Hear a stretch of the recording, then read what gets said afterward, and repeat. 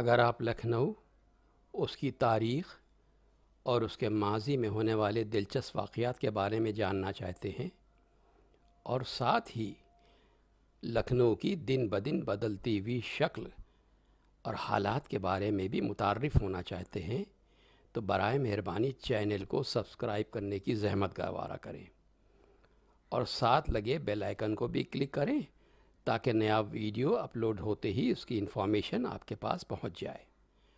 शुक्रिया।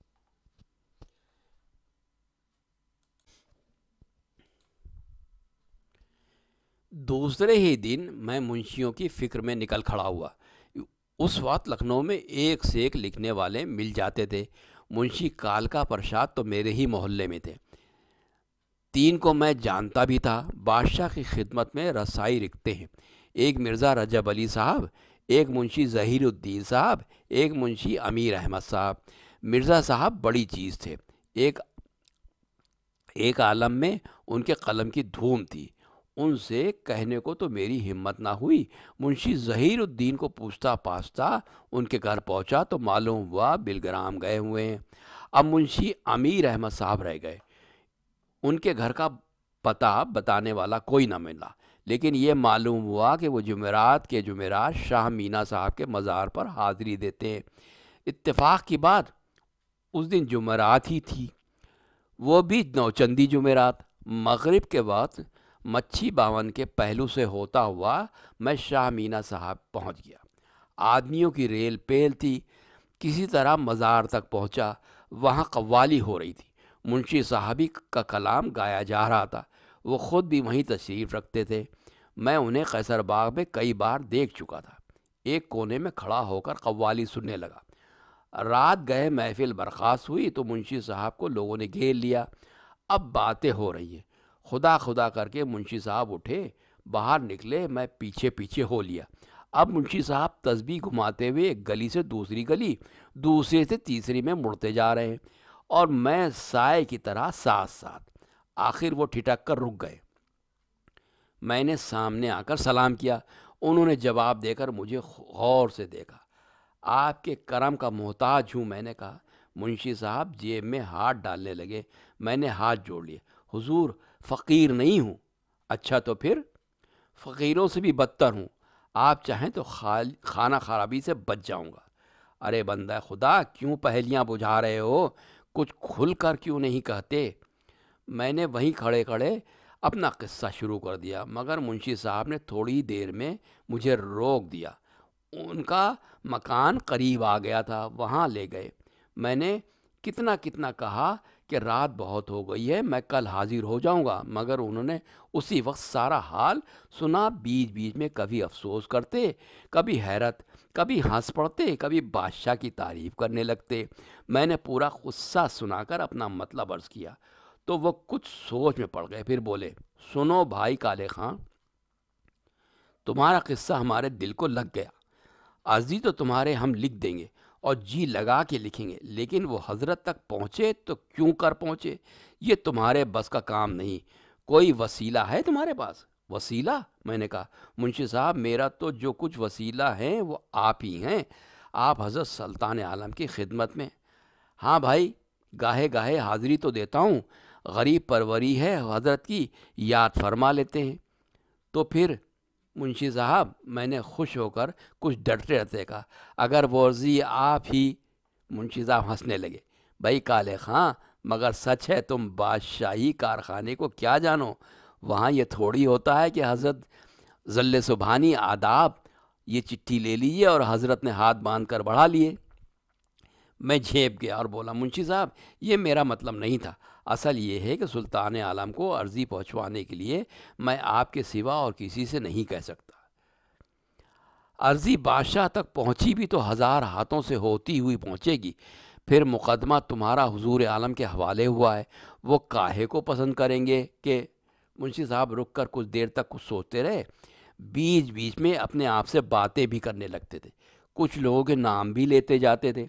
मियाँ साहिबान मकबूलदौला राहतुल सुल्तान, अमामुन और मालूम नहीं कौन कौन आखिर में कहने लगे अच्छा मियाँ, काले खां, अल्लाह ने चाहा तो अर्ज़ी तुम्हारे हज़रत के मुलाजा से गुज़रेगी, आगे तुम्हारी किस्मत। मैंने मुंशी साहब को दुआएँ दे दी, दुआएँ दी, उनकी तारीफ़ें शुरू कर दी तो घबरा घबरा, अरे भाई अरे भाई, क्यों गुनाहगार करते हो? काम बनाने वाला अल्लाह है, लो बस अब तुम अपने घर को सिधारो। वो उठ खड़े हुए। मैं चलने लगा तो दरवाजे तक पहुँचाने आए। मैंने रुसख्त होते हुए कहा, मुंशी साहब, इसका अज्र अल्लाह आपको देगा। गरीब आदमी हूँ, आपका हक़ मेहनत। हाँ मुंशी साहब ने ज़बान दांतों तले दबा ली। उसका तो नाम भी मुँह से ना लेना। और मेरे कांधे पर हाथ रखकर फिर वही कहा, बात यह है काले खां, तुम्हारा किस्सा हमारे दिल को लग गया है। आसिफुद्दौला बहादुर के इमाम बाड़े का नौबत खाना रात को पिछला पहर बजा रहा था। जुमेराती की अम्मा बेचारी, मैंने सोचा मेरा रास्ता देखते देखते सो गई होंगी। उन्हें जगाना अच्छा नहीं मालूम हुआ। सुबह तक शहर में आवारा गर्ती करता रहा। तीन चार दिन गुजरे होंगे कि क्या देखता हूँ? दरोगा नबी बख्श दरवाजे पर खड़े हैं। मैं घबरा गया, लेकिन उन्होंने मुझे बोलने का मौका ही नहीं दिया। कहने लगे, अरे मियाँ काले खां, भाई तुम तो क़यामत निकले। मैं और भी घबरा गया, बोला, दारोगा साहब, वल्लाह मुझे कुछ खबर नहीं क्या हुआ? क्या हुआ? दारोगा बोले, ये हुआ कि तुम्हारी अर्ज़ी हज़रत सुल्तान आलम की खिदमत में पहुँच गई और मुलायजे से गुज़रते ही इस पर हुक्म भी हो गया। हुक्म हो गया? मैंने बेताब होकर कहा, क्या हुक्म हुआ दारोगा साहब? सुल्तानी फ़ैसले हम लोगों को बताए जाएँगे? क्या बात करते हो काले खां लेकिन इसे लिख कर रखो। अच्छा पहले ये बताओ, अर्जी में सारा हाल लिखवा दिया था? बिटिया का बिन माँ का होना, पहाड़ी मैना के लिए तुम्हें दिख करना और अव्वल से आखिर तक मैंने कहा। अर्जी मैंने देखी तो नहीं, लेकिन मुंशी अमीर साहब ने कहा था, जी लगा कर लिखूँगा। मुंशी अमीर अहमद साहब, दरोगा ताज्जुब से बोले, उन्हें पकड़ लिया? अमा हम तुम्हें ऐसा नहीं समझते थे। वही हम कहें, ये अर्जी हज़रत सुल्तान तक पहुँची कैसे? दरोगा साहब, वो अभी आप क्या कह रहे थे? अम्मा, जो कह रहे थे, वो कह रहे हैं। नहीं, वो आपने कहा था, इसे लिख लो। हाँ दरोगा को याद आया। हम कह रहे थे, इसे लिख कर रखो, तुम्हें माफ़ी मिल गई और तुम्हारी बिटिया को मैना। बिटिया को मैना? मैं हैरान होकर बोला। ये क्या कह रहे हैं दरोगा साहब? तुम अभी बादशाह के मिजाज से वाकिफ नहीं हो, दरोगा बोले। आज जो सवेरे सवेरे बंदे अली, उनका चौबेदार मुझसे तुम्हारे घर का पचा पूछने आया तो मैं भाप गया। भाई, जी खुश हो गया। लेकिन मैंने देखा दरोगा बहुत खुश नहीं है। रुके रुके से थे और मालूम होता था कि कुछ और भी कहना चाहते। मुझे घबराहट सी होने लगी। मैंने कहा, दरोगा साहब, आपने हमेशा मेरे सर पर हाथ रखा। इस वक्त आप खुश ना होंगे। तो कौन होगा? लेकिन दरोगा साहब, कुछ, क्या कुछ और बात भी है? दरोगा ज़रा कसमजाए फिर बोले, कह ही नहीं सकते काले खां। हो सकता है कोई बात ना हो। हो सकता है बहुत बड़ी बात हो जाए, मगर तुम्हारी खैर रहेगी। दरोगा साहब, खुदा के लिए। अब दरोगा साहब परेशान नज़र आ रहे थे। भाई, उन्होंने कहा, ताज़ा वारदात भी सुन लो। आज नवाब साहब के तीन आदमी ताउस चमन में आए थे। नवाब साहब। अरे हुजूर आलम, दस्तूर मौज़म वज़ीर आज़म, मदारुद्दौला नवाब अली नकी ख़ां बहादुर कहो समझोए? समझा। या शायद चार आदमी थे, दरोगा ने याद करने की कोशिश, खैर होगा। उन्होंने मुझे ताउस चमन में बुलवाया। मैं गया तो देखा, ईजादी कफस के सामने तने हुए खड़े हैं। मुझे देखते ही बड़े तेवरों के साथ पूछने लगे, इनमें फलाकारा कौन सी मैना है? मैं जल गया। बोला, इन्हें मैं कहीं, इन्हीं में कहीं होगी। मैं कोई सबके नाम याद रखता फिरता हूँ। उनके भी दिमाग आसमान पर था कहने लगे, इतने दिन से दारोगा हो और जानवर को नहीं पहचानते? मैंने कहा, चलिए पहचानते हैं, नहीं बताते। आप पूछने वाले कौन हैं? बात बढ़ने लगी। उनमें एक शायद नए नए मुसाहिबी भी आए थे। मूछें निकल रही थी, ज़रा सूरतदार भी थे। उन्होंने कुछ ज़्यादा रंग दिखाना शुरू किया। तो मैंने कहा, साहबजादे साहब, अपना जोबन संभालिए। पठान बच्चा हूँ। जब तक दाढ़ी मोछे पूरी ना निकले आए मेरे सामने, आगा पीछा देख कर आइएगा। मुझे हँसी आ गई। दरोगा साहब, आपकी ज़बान से अल्लाह की बना हाँ नहीं तो। दरोगा वाकई ताव में आए हुए थे और वो लगे डंकारने मैंने कहा, मेरे शहजादे, हम खासे के शेरों को निवाला खिलाते हैं। बेबस, अब चोंच बंद कीजिए। नहीं उठाकर मोहनी के कटहरे में फिकवा दूँगा। बाद में नाम पूछूँगा। शोर सुनकर महलात के बहुत से आदमी निकल आए। मामला रफा दफ़ा कराया। कुछ देर हम दोनों सोच में डूबे रहे, फिर मैंने कहा, बुरी वारदात हुई दरोगा साहब। वारदात? दरोगा बोले। वारदात मेरे यार, अभी तुमने सुनी कहाँ है? अब सुनो। महलात वालों में नवाब साहब के आदमियों के दोस्त आशना भी थे। वो उनको अलग लेके गए। तब भेद खुला कि उस दिन रेजिडेंटी के साहिबान जो ताउस चमन में आए थे, उनमें से किसी को तुम्हारी मैना की बेहंगाम बोल पसंद आ गए। उसने नवाब साहब से उसकी तारीफ़ की। नवाब साहब खट से वादा कर बैठे कि मीना रेजिडेंटी पहुँचा दी जाएगी। यही नहीं, उसके लिए ईजादी कफस ने नमूने का छोटा सा पिंजरा भी बनवा लिया। मैं इतनी ही देर में फलक मैना को अपने घर का माल समझने लगा था। मैंने कहा, लेकिन मैना तो हज़रत ने मेरी बेटी को इनायत की है।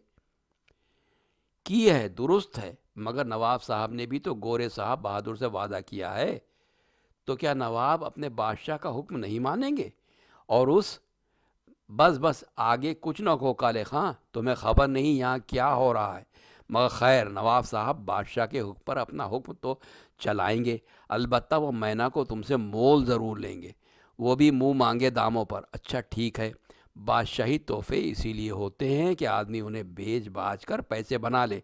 लेकिन इतना याद रखो, काले खां, मैना अगर रेजिडेंटी पहुँच गई तो बादशाह को मलाल होगा। मलाल हो उनके दुश्मनों को, मैंने कहा। नवाब साहब, ख़रीद का डोल डालेंगे तो कहला दूँगा, मेरी बेटी राज़ी नहीं है। उसने मैना को बहन बनाया है और नवाब साहब चुप होकर बैठ जाएँगे। दरोगा फ़ौरन बोले, कहाँ रहते हो भाई? अच्छा अब जो हम कह रहे हैं, ज़रा ध्यान से सुनो, छोटे मियाँ दाद हैं। कौन छोटे मियाँ?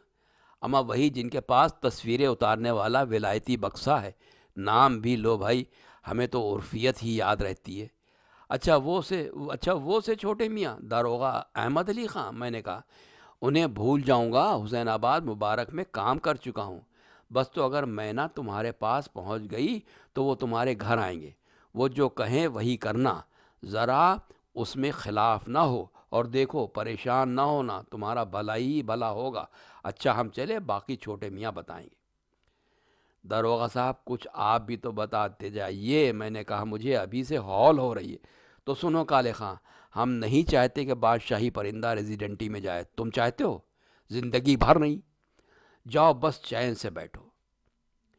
दरोगा रुखसत हुए तो मैं घर में आया।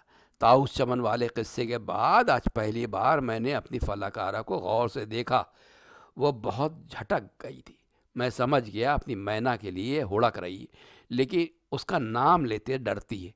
जी हाँ उसे अभी ये बता दूँ कि तुम्हारी मैना तुम्हारे पास आ रही है, लेकिन अभी मुझे खुद ही ठीक ठीक कुछ नहीं मालूम था। इसको क्या बताता बस उसे गोद में लिए देर तक टहलता रहा।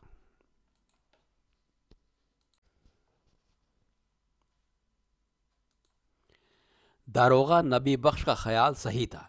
दूसरे ही दिन सवेरे सवेरे शाही चौबदार और दूसरे सरकारी अहलकार मेरे दरवाजे पर आ मौजूद हुए। और दरोगा खुद भी उनके साथ थे। उनसे मेरी शनाख्त करा के एक अहलकार ने शाही हुक्मनामा पढ़ना शुरू किया, जिसका मजमून कुछ इस तरह था। काले खां वल्द यूसुफ खां को मालूम हो कि अर्जदाश्त उसकी हुजूर में गुजरी। हर गाह ताउस चमन की मैना, इसमी फलाकारा को चुराकर अपने घर ले जाना, इसका बामोजिब अकरार उसके साबित है। बनाबरी इसको मुलाजमत से सुल्तान मुलाजमत सुल्तानी से बरतरफ किया गया, मगर तनख्वाह उसकी बहाल रहेगी। मीना उस, इसमी फलाकारा को तालीम देने की जल्दों में मीना मस्कुरा, मुसम्मात फलाकारा बेगम बिनत काले खां को बरसबील इनाम अता हुई। व नीस ख़जान आमरा से मीना मस्कुरा के दाने पानी का खर्च एक अशरफी माहाना मुकर हुआ। वनीस काले खां वल्द यूसुफ खां को मालूम हो कि चोरी उस घर में करते हैं जहाँ मांगने से ना मिलता हो। इस आखिरी इस आ, इस आखिरी फ़िक्रे ने मेरी मुझे पानी पानी कर दिया। सर झुका कर रह गया। इतने में दूसरे अहलकार ने सुरखबानात के गिलाफ से ढका हुआ पिंजरा चौबदार के हाथ से लेकर मेरे हाथ में दिया। फिर कमर से एक छोटी सी थैली खोल कर मुझे दी और उसके अंदर की बारह अशरफियाँ मेरे हाथ से गिनवाईं। बताया यह मीना का साल भर का खर्च है और रसीद नवीसी की मुख्तर कार्रवाई के बाद मुझे मुबारकबाद दी। दरोवा नबी बख्श ने भी मुबारकबाद दी। फिर चौबदार से कहा अच्छा मियाँ, बंदे अली, हमारा काम ख़त्म हुआ। काम हमारा भी ख़त्म हुआ। इस, उसने जवाब दिया, क्यों दरोगा साहब, साथ ना चलिएगा? नहीं भाई, सोचते हैं हुसैनाबाद मुबारक में हाज़िरी दे आवें। हाँ हाँ ज़रूर जाइए। बंदे अली ने बड़े तपाक से कहा, हमारे लिए भी दुआ कर दीजिएगा। लो, ये भी कुछ कहने की बात है। दरोगा ने मेरी तरफ़ देखा और सर के हल्के से इशारे से पूछा, याद है, मैंने भी आहिस्ता से सर हिला दिया कि याद है। उन लोगों के जाने के बाद घर में आया तो मालूम होता था ख्वाब में चल रहा हूँ। फलकारा अभी सो रही थी। मैंने पिंजरा सहन में रखकर इस पर से गलाफ हटाया तो आँखें चकाचौंध हो गई। सोना मेरे मुँह से निकला और पिंजरे की खूबसूरती मेरी निगाहों से ओझल हो गई। मैं अंदाज़ा लगाने की कोशिश करने लगा कि उसकी मालियत कितनी होगी। उसी वक्त मुझे फलक मैन मैना की हल्की सी आवाज़ सुनाई दी। वो मेरी तरफ़ मिची मिची आँखों से देख रही थी। फिर उसने सर ऊँचा किया और और पर चलाकर ज़ोर ज़ोर से चहचहाने लगी। मैं दौड़ता हुआ कोठरी में गया और उसका पुराना पिंजरा निकाल लाया। मीना को उस पिंजरे से अपने उसके पिंजरे में लग करके नया पिंजरा कोठरी में छुपा रहा था कि बाहर से फलक आ रहा की आवाज़ सुनाई। हमारी मैना अच्छी हो गई, हमारी मैना अच्छी हो गई। मैं मैं कोठरी से बाहर आया तो उसने चहक चहक कर मुझे ये भी ये खबर सुनाई। लेकिन मैं दूसरी फिक्रों में था। अच्छा पहले मुँह हाथ धो लो फिर उससे जी भर के बातें करना, मैंने उससे कहा और बाहर दरवाजे पर जा खड़ा हुआ। घर के अंदर से मैना की चहचाने और फलक आरा के खिलखिलाने की आवाज़ें चल रही थी। वाकई ऐसा मालूम होता था कि दो बहनें बहुत दिन बाद मिली। आवाज़ें दमभर को रुकी, फिर मैंने सुना फलक फलकारा, शहजादी है, दो जलेबी खाती है, काले खां की गोरी गोरी बेटी है। फिर हँसी, फिर तालियों की आवाज़। मैं समझ न सका कि यह फलाकारा थी या इसकी मैना। दिन भर मैं कभी घर में आता, कभी दरवाजे पर जाता। हर वक्त मुझे गुमान था कि दरोगा अहमद अली ख़ान आते ही होंगे, लेकिन दरवाजे पर देर तक उनकी राह देखने के बाद फिर घर में आ जाता। आखिर करीब शाम वो आते दिखाई दिए। उनके साथ एक आदमी और था। कुछ देहाती सा मालूम होता था। लुंगी बांधे, मोटा कुर्ता पहने, कमर में चादर लपटा हुआ और सर पर बड़ा सा साफ़ा, जिसका शिमला उसने मुँह पर इस तरह लपेट लिया था कि सिर्फ़ आँखें और नाक का आधा बांसा खुला रह गया था। मुझे उसकी आँखों की चमक से कुछ डर सा लगा। इतनी देर में वो दोनों दरवाजे पर आ पहुँचे। अलैक सलैक हुई। अहमद अली ख़ान ने जल्दी जल्दी मेरा हाल हवाल पूछा। फिर साफ़े वाले आदमी की तरफ़ इशारा करके पूछा, इन्हें पहचानते हो काले खां? सूरत देखूँ तो शायद पहचान लूँ। नहीं, यूँ ही पहचानते हो? उन्होंने पूछा, फिर पूछा, आगे कभी कहीं देखोगे तो पहचान लोगे? उनके ढांटे को पहचानूं तो पहचानूं? कायदे की कही, दरोगा सर हिलाकर बोले अच्छा देखो, ये बादशाही मीना और इनामी पिंजरे के ख़रीदार हैं। बोलो, क्या कहते हो? मेरे मुँह से साफ़ इनकार निकलते निकलते रह गया। मैंने कहा, मैं क्या कहूँ? दरोगा साहब, आप मुख्तार हैं? अच्छा तो तुमने हमें अपना मुख्तार किया? किया। तो मैना तुम्हारी हमने इनके हाथ बेची, पिंजरा भी बेचा। पैसे सोच समझ कर तय कर लेंगे, दरोगा ने कहा। फिर उस आदमी से बोले, लीजिए, उन्हें बयाना दीजिए, कसम भी दीजिए। आदमी ने एक रुपया मेरे हाथ पर रख दिया और बोले, काले खां, वल्द यूसुफ खां, कलाम पाक की कसम खाओ। किसी को नहीं बताओगे कि मैना तुमने कितने में बेची। पिंजरे के पैसे अलबत्ता बता देना। मैना के पैसे कोई पूछे तो कह देना, हम पर कसम पड़ चुकी है। मैंने कसम खाई। छोटे मियाँ ने मुझसे कहा, जाओ ज़रा बिटिया को बहलाकर मीना और पिंजरा ले आओ। मैं घर के अंदर गया। फलाकारा पिंजरे के पास बैठी थी। मैंने उससे कहा, फलाकारा बेटी, अब इसके बसेरे का वक्त है। नींद ख़राब करोगी तो फिर बीमार हो जाएगी। हम उसे हवा खिला के लाते हैं। डॉक्टर साहब ने कहा। है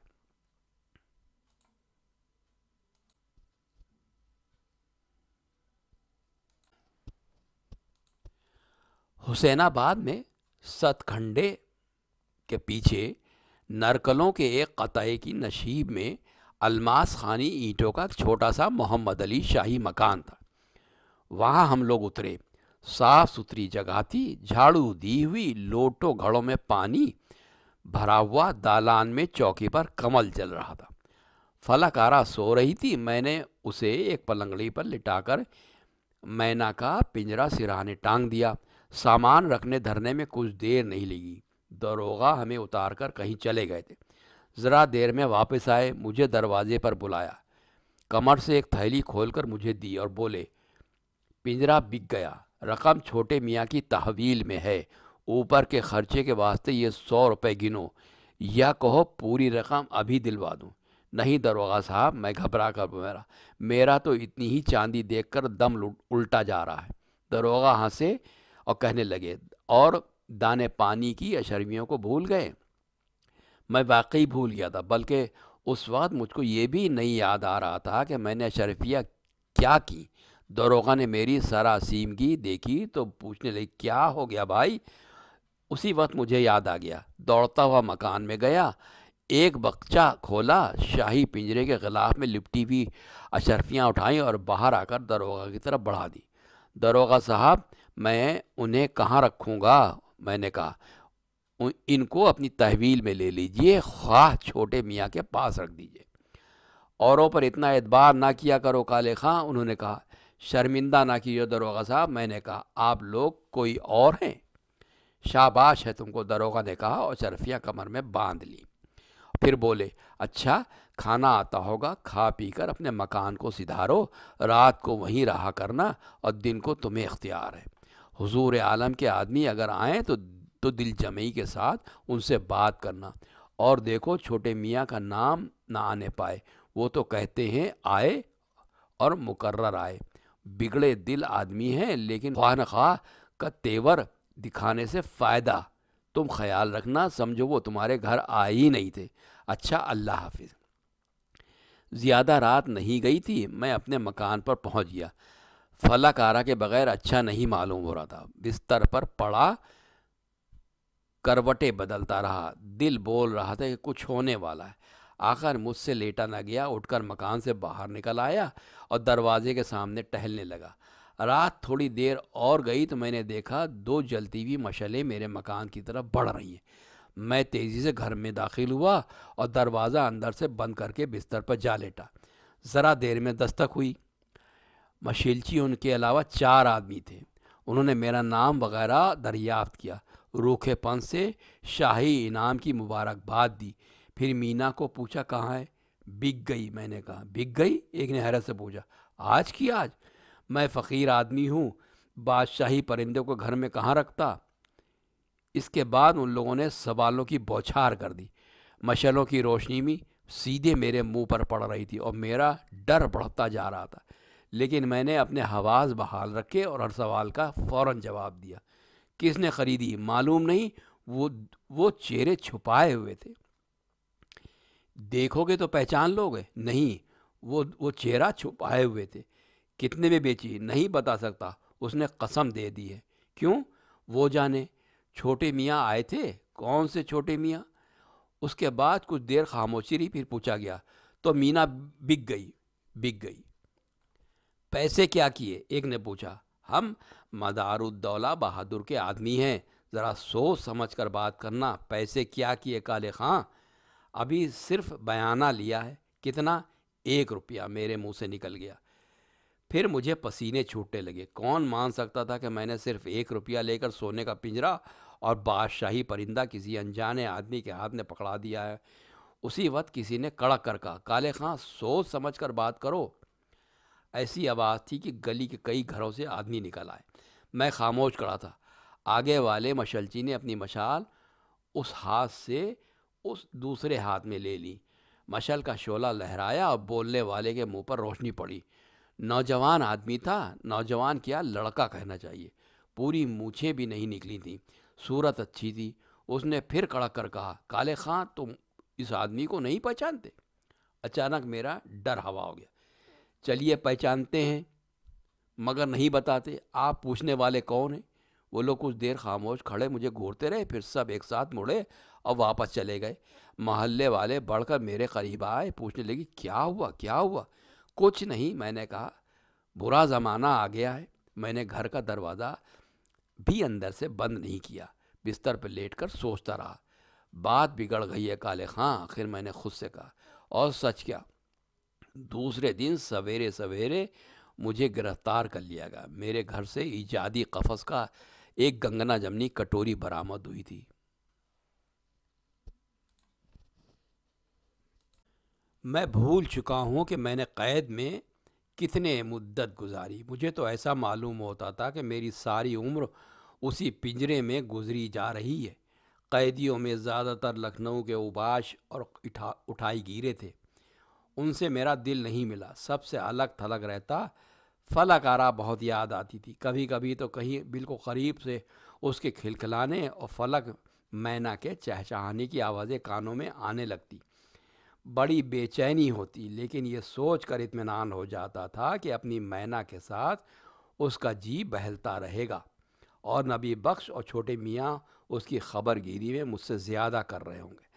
सबसे बढ़कर पैसे का इतमान था।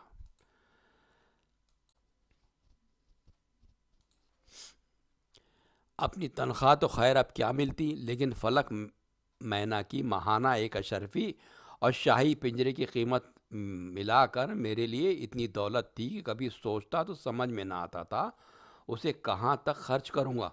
फिर सोचने लगा कि अगर उसे खर्च करने की नौबत भी ना आएगी या कैद खाने ही में घिसट घिसट कर मर जाऊँगा, बड़ा जी चाहता था कि किसी तरह फिर बादशाह को अर्ज़ी पहुँचा दूँ। अभी तो मेरा मुकदमा ही नहीं बना था।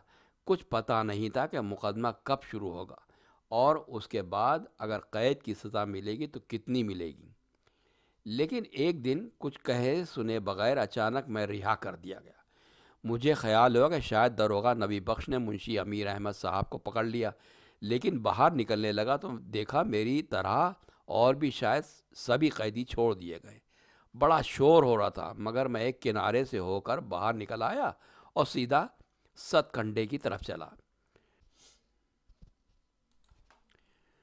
कुछ दूर तो मैं अपनी धुन में निकला चला गया। फिर मुझे सब कुछ बदला बदला सा मालूम होने लगा। शहर पर अजीब मुर्दानी सी छाई हुई थी। चौड़े रास्तों पर गोरों के फौजी दस्ते गश्त कर रहे थे। और गली में, जिस गली में मैं मुड़ता, उसके दहाने पर अंग्रेज़ी फ़ौज के दो तीन सिपाही जमे हुए नज़र आते थे। गलियों के अंदर लोग टोलियाँ बनाए, चुपके चुपके आपस में बातें कर रहे थे। मुझे घर पहुँचने की जल्दी थी, इसलिए कहीं रुका नहीं, लेकिन हर तरफ़ एक ही गुफ्तगु थी। रुके बगैर भी मुझे मालूम हो गया कि अवध की बादशाही ख़त्म हो गई। सुल्तान आलम वाजिद अली शाह को तख्त से उतार दिया गया। वो लखनऊ छोड़कर चले गए हैं। अवध की सल्तनत अंग्रेज़ों के हाथ में आ गई है और उस खुशी में उन्होंने बहुत से कैदियों को आज़ाद कर दिया। आज़ाद जुमला मैं भी था। ऐसा मालूम हुआ कि एक पिंजरे से निकलकर दूसरे पिंजरे में आ गया हूँ। जी चाह लौट कर कैद खाने में चला जाऊँ। फिर फलक आला का ख्याल आया और मैं सतखंडे की सीधी सड़क पर दौड़ने लगा। घर पहुँचा तो सब कुछ पहले की तरह नज़र आया। फलक आरा पहले तो मुझसे कुछ खिंची खींची रही। फिर मेरी गोद में बैठकर अपनी मैना की नए नए किस्से सुनाने लगी। लखनऊ में मेरा दिल ना लगना और एक महीने के अंदर बनारस में आ रहना।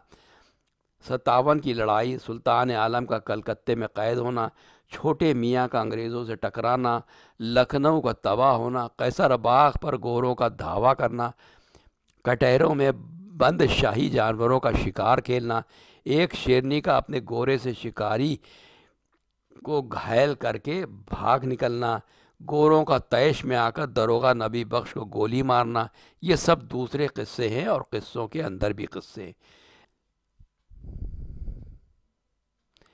लेकिन ताऊ समन की मैना का किस्सा वहीं पर ख़त्म हो जाता है, जहाँ नन्ही फलाकारा मेरी गोद में बैठकर उसके नए नए किस्से सुनाना शुरू करती है।